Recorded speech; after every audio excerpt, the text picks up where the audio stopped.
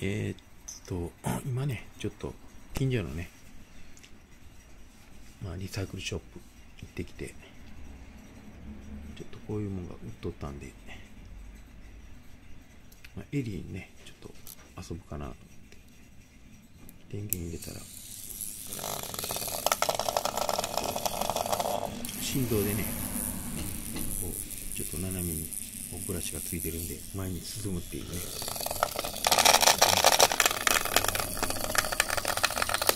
ひっくり返っても、